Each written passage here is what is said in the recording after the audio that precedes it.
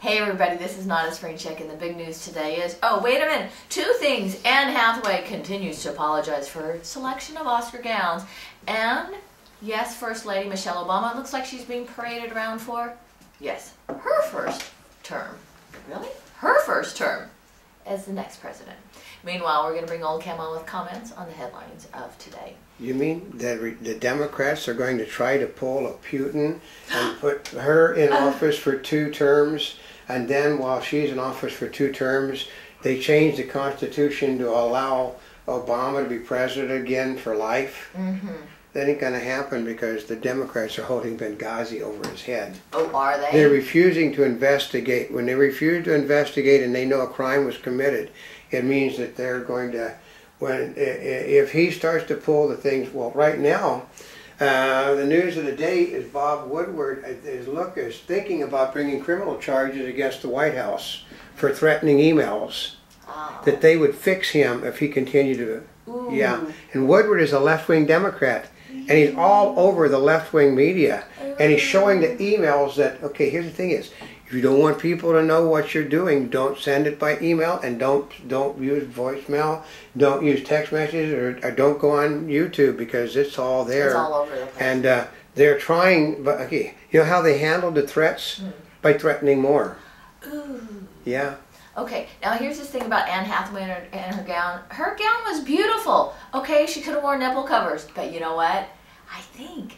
Do you think that some actresses might be? Oh yes, trying to work their way around that code Yeah. of oh, conserv- the- conservativeness. You mean the code that George Bush and Republicans ordered the in- Oh, entertainment yes. industry to do? Oh, who's been out of office for six years? Oh, I, I read Or a five thing. years or here's, whatever. a, here's a news item this morning that while the Republicans have lost the, the lost the popular vote in five of the last six presidential elections, of course they've had four presidents in that time. They uh, they have turned this country more conservative than ever. You know, the church, the the, liberal, the, court system has turned conservative. The school system turned conservative. The you know everything has turned conservative, and um, basically, if you believe that, you also believe that that uh, Barack Obama is a conservative Democrat. He is, isn't he? Well, the, the Democrats are trying to. No, but the trick is, we're going to explain something very simple. The more liberal the government, the more conservative it is because they want to stifle any opposition.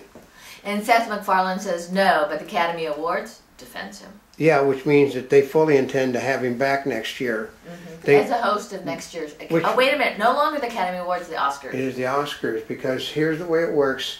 Is I am beginning to believe that the talk at Magic is not talk, but they heard somebody talking over at the Academy. That the Academy Awards is going to aim because of the fact that everybody knows who who the winners are going to be before the Oscars. There's no point of having it anymore. So they're going to do uh, honor. They're going to honor people. They're going to have you know for for work done. They'll pick like five best actors that have been ignored by the Academy, five best actors, five best directors, five films, and they will then decide among the Academy members who these who the honored person should be for the year. Uh, you know, Oscar is going to take a different connotation simply because of the fact that um, well they said all you got to do is to put people out there that they've actually heard of and nominate movies that people actually go well yeah but eight of the ten movies that were nominated made a hundred million dollars or more yeah but i think seven of those ten that were nominated were not exactly fan friendly Come on, let's bring back the Avengers. Yeah. Actually, then people might watch it. Oh, actually, they were there. yeah well the billion dollar movies were represented but other than a minor a minor award for Skyfall and the best song they got nothing again. They don't like movies. If you're a very po- uh, uh, okay the hobbit was a massive moneymaker. It got two minor nominations. That's it. And Kerry defends foreign aid from cuts. they're going to cut foreign aid because basically, uh, like okay, they're like we gave a billion and a half dollars worth of brand new jets to people that want to destroy Israel and attack the United States. That does not make sense, folks. And we're supplying, we're supplying Pakistan, you know, with everything that they need, uh, billions of dollars, and they, they hate America. Ever since Obama became president, everybody in the Muslim world hates America.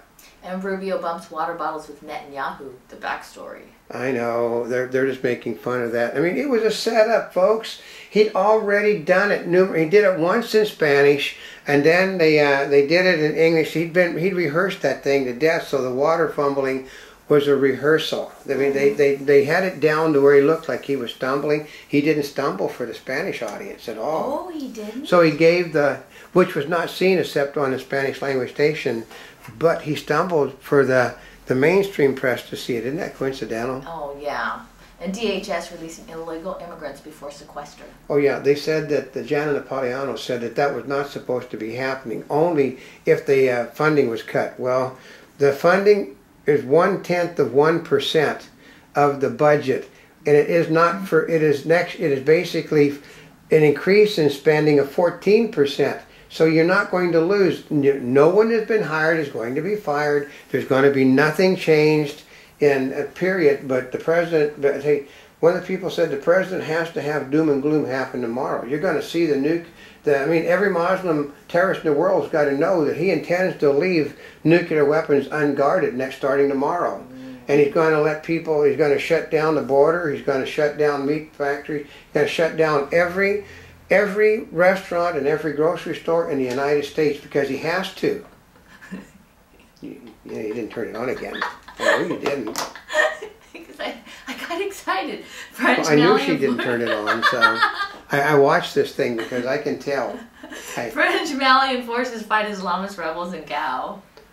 Yeah, well, yeah, because they're basically the jobs that we should be doing. But our brand new Secretary of Defense, less than 24 hours after he was named Secretary of Defense, he decided to attack the United States and go pro-Muslim, pro-Iran, anti-Israel, and everybody. I mean, they're trying to figure out why in the world? Okay, he, he would have never been nom- he would have never got the nomination except for two Republicans, and they cannot figure out why they voted to support a guy that is uh, that wants to see the destruction of. He wants the military disbanded.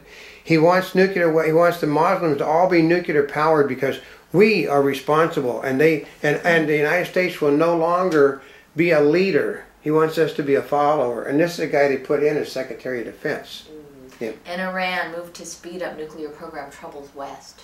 Yeah, well, it doesn't trouble Chuck Hagel. He said, go for it. He this did? Is, this is what he said for it. He said, as soon as they have the weapons, there'll be no more of this nonsense. And Venezuela's Chavez still suffers breathing trouble. He's dying. It's very simple. He's got he he, he has got um, he got cancer of the. Uh, he, he, should not have breathing problems because that's not what a cancer at. It just means the cancer the he's just in such a weakened state. He has you know nothing else left in him. So probably we're probably close to the ten You think minutes. so? Yeah. Oh, so should we just close it then? And uh, I'm, yes. I'll do a couple more. Yeah, a just couple in case. more. I know. A couple more, just. That's for what happens when I let her monitor the clock. so I, I have to start because what happens is okay. Here's what it is. You have to understand if we're in this room, it's because it's the only room in this whole building we can heat. So I guess the telephone. I guess it, the telephone's telling us too. Well, anyway, Montebubbles from the Mark Twain and the Animal Kingdom. Okay, when everything seems to be going wrong, that's what the time to pull it up for the day.